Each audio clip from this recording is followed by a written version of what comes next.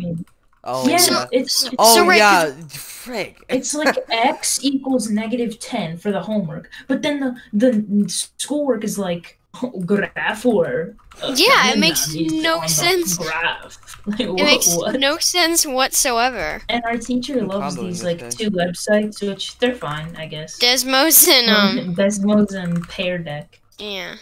There's like Can random things. guys? I've never seen any of them. I think I've Why seen not Pear Deck 950? once. Hold on. Mm, I, mean, I don't know. Oh, there we go. They're